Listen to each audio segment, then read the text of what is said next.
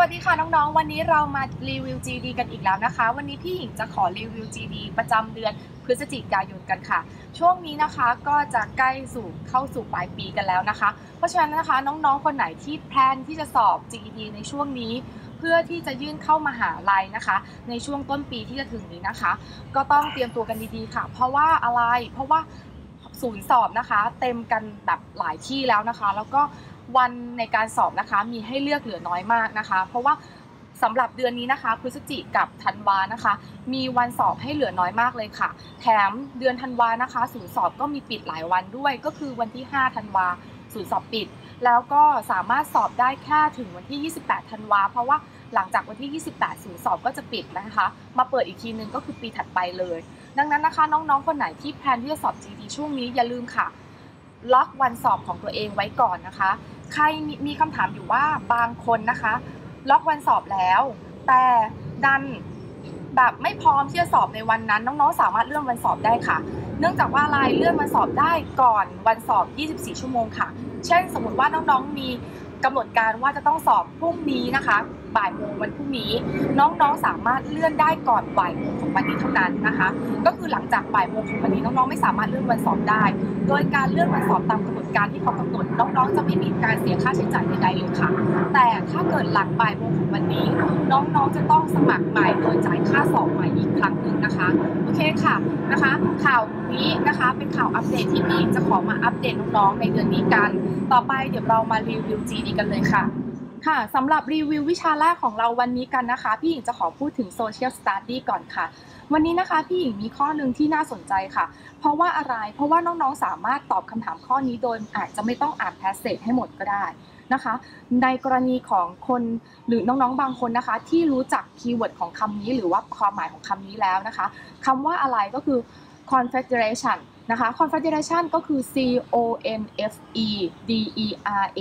t i o n นะคะ confederation นะคะคำนี้แปลว่าอะไร แปลว่าความร่วมมือหรือแปลว่าสหพันธ์หรือว่าสหภาพก็ได้นะคะคำนี้นะคะมี keyword คำนี้อย่าลืมนะคะ confederation นะคะ มีความหมายว่าอะไร ถ้าน้องๆจำความหมายของคำนี้ได้นะคะ น้องๆสามารถตอบได้เลยค่ะ หรือถ้าเกิดใครไม่รู้ความหมายของคำนี้นะคะ ก็สามารถดูบริบทจาก passage นั้นได้ว่า บริบทจาก passage นี้นะคะ สามารถตอบคำถามอะไรได้ ซึ่ง keyword ของคำตอบนะคะ น้องๆจะเจอคำว่า sovereignty ก็คือ S O V E R E I G N T Y นะคะ sovereignty ก็คือแปลว่าอำนาจอธิปไตยค่ะคำนี้นะคะจะเป็น keyword ที่อยู่ใน choice ที่น้องๆจะเจอนะคะ ซึ่งข้อนี้พี่หญิงคิดว่าน้องๆจะสามารถทำได้ค่ะ อย่าลืมค่ะ เรามี keyword สองคำนะคะ ก็คือ confederation กับ sovereignty sovereignty นะคะ ก็คือแปลว่าอะไร confederation แปลว่าความร่วมมือหรือสหพันธ์นั่นเองค่ะ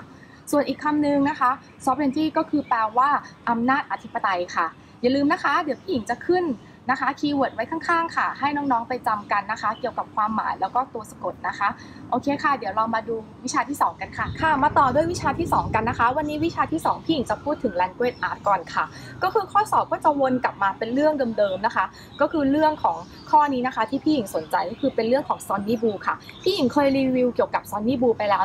สักครั้งสองครั้งนะคะจำไม่ได้ไม่ชัวร์นะคะ น้องๆลองกลับไปวนดูคลิปก่อนหน้าดูนะคะ ก็คือสำหรับเรื่องซอนนี่บูนะคะ ก็คือสำหรับข้อนี้นะคะ เขาจะตัดตอนหนึ่งออกมาค่ะ เป็นตอนของตัวเอกเลยก็คือซอนนี่บู โดยจะมีการเล่าเรื่องผ่านบุคคลที่ 3 ซึ่งบุคคลที่ 3 นี้ก็คือคนที่มาดูการแสดงของซอนนี่บูในวันนี้ โดยเขาก็บอกว่าเนี่ยการแสดงของซอนนี่บูในวันนี้นะคะ รู้สึกว่ามีปัญหาเกี่ยวกับเครื่องดนตรี แล้วก็ความไม่ราบรื่นของการแสดงค่ะ โดยในเนื้อหาในพาสเซจนี้นะคะ มันจะมีคำหนึ่งค่ะที่เขาพูดถึงว่า piano was gas เขาถามว่าทำไมเขาถึงเปรียบเปียโนเหมือนอากาศค่ะ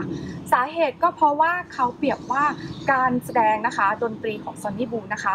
ไม่ได้มีอุปสรรคคืออุปสรรคของการแสดงค่ะ ไม่ได้เกี่ยวกับเครื่องดนตรีค่ะ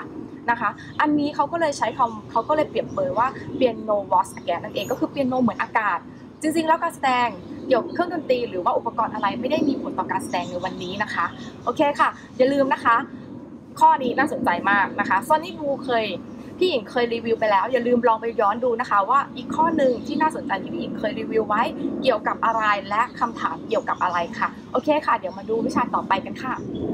ต่อไปนะคะมาต่อด้วยวิชาที่ 3 กันค่ะ วิชาที่ 3 วันนี้พี่หญิงจะขอพูดถึงวิชา science ค่ะ คือวิทยาศาสตร์ของเรา วันนี้นะคะพี่หญิงหยิบวิทยาศาสตร์ในหมวดของฟิสิกส์มาค่ะนะคะ มีอยู่ครั้งหนึ่งพี่หญิงก็เคยรีวิวเกี่ยวกับหมวดของฟิสิกส์แล้ว เราพบว่านะคะในข้อสอบของ science นะคะ จะมีฟิสิกส์อยู่ในประมาณถ้าพี่หญิงกะคร่าวๆนะคะ ประมาณ 15-20%ค่ะนะคะของตัวข้อสอบทั้งหมด 100%สำหรับข้อนี้นะคะ พี่หญิงคิดว่าไม่ยากค่ะน้องๆ สามารถไปรีวิวนะคะ หรือว่าไปทบทวนบทเรียนในส่วนนี้ได้นะคะ เคยเห็นไหมคะน้องๆ เคยเห็นอะยกตัวอย่างอย่างเช่นต้นมะพร้าวน้องๆ เคยเห็นต้นมะพร้าวไหมคะต้นมะพร้าวน้องๆ จะพบว่ามีลูกมะพร้าวอยู่ข้างบนนะคะ แล้วคราวนี้ค่ะ เรามาพบว่านะคะเราจะพูดถึงพลังงานที่อยู่ที่เกิดขึ้นนะคะ ของลูกมะพร้าวกันนะคะ โดยน้องๆจะมีพลังงาน 2 ตัวค่ะ ที่น้องๆจะต้องรู้จักกันก็คือ kinetic energy กับ potential energy kinetic energy ก็คือพลังงานจนภาษาไทยนะคะ potential energy ก็คือพลังงานอะไรคะพลังงานศักย์นั่นเอง เรามีสูตรค่ะ พลังงานศักย์หรือ potential energy นะคะ หามาได้จาก mgh ค่ะ ซึ่งนั่นหมายความว่ามี mass ก็คือน้ำหนักของวัตถุ g ก็คือ gravity นะคะ แล้วก็ h ก็คือความสูง ส่วน r พลังงานจนนะคะ ก็คือเศษ1ส่วน2 mv square ค่ะนะคะ เราพบว่านะคะ เวลาที่ลูกมะพร้าวอยู่ข้างบนนะคะ ยังไม่เกิดการเคลื่อนไหวอะไร แต่เราพบว่าถ้าลูกมะพร้าวอยู่สูงจากพื้นดินนะคะ จะสูงมากเลย เราจะพบว่าตังจุดจุดนี้นะคะ ลูกมะพร้าวลูกนี้นะคะ จะมี potential energy ค่อนข้างเยอะ ก็คือความสูงมีมาเกี่ยวพันกับ potential energy เราจะพบว่าตรงนี้ potential energy สูง แต่ kinetic energy ต่ำ นะคะ แต่ในขณะที่ลูกบอลอะลูกมะพร้าวตกลงมานะคะ จนถึงพื้น ณตอนนั้นนะคะ kinetic energy ก็จะเพิ่มขึ้นเพิ่มขึ้นเรื่อยๆนะคะแต่ potential energy ก็จะลดลงค่ะนะคะ เพราะฉะนั้นน้องๆนะคะ อย่าลืมไปลองดูนะคะสำหรับพลังงานทั้ง2ตัวนี้กันนะคะ ว่าแตกต่างกันยังไงนะคะ แล้วก็มาลองรีวิวดูนะคะ ว่าแต่ละสูตรนะคะของพลังงานนี้นะคะ มีตัวแปรอะไรมาเกี่ยวพันบ้างนะคะ ในข้อสอบนะคะจะถามเกี่ยวกับทฤษฎีพวกนี้ค่ะว่า ตรงบริเวณไหนที่ kinetic สูง ตรงบริเวณไหน potential สูง แล้วก็อาจจะมีการให้คำนวณเกี่ยวกับ potential potential energy กับ kinetic energy ด้วยค่ะนะคะโอเคค่ะ เดี๋ยวเรามารีวิววิชาสุดท้ายกันค่ะ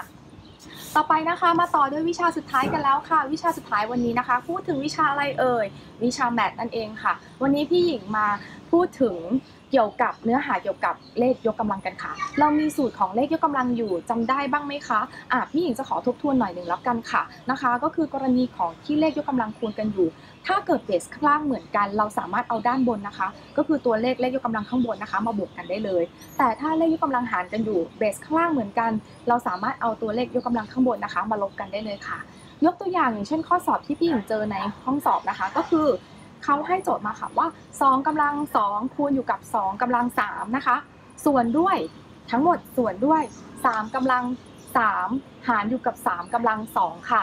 นะคะ เราจะพบว่าเริ่มต้นเรามาดูตัว fraction ตัวบนก่อนก็คือ 2กำลัง 2 คูณอยู่กับ 2กำลัง 3 น้องๆสามารถเอา 2 บวก 3 ได้เลยค่ะ เป็น 2กำลัง 5 ค่ะ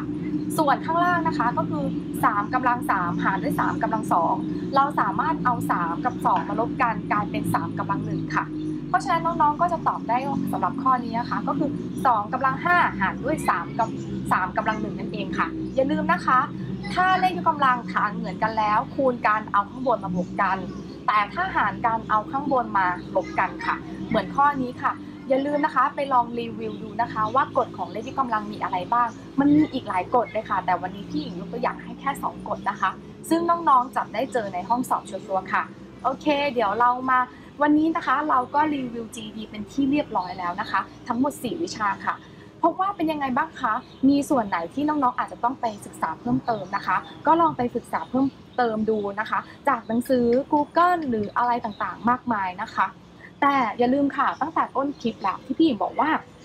ใครที่เตรียมตัวที่จะสอบ GD ในช่วงนี้ อย่าลืมค่ะ รีบสมัครเอาไว้ก่อนนะคะ ล็อกวันของตัวเองไว้ก่อน แล้ววางแผนตัวเองดูว่าจะทันกับที่ตัวเองล็อกเอาไว้หรือเปล่า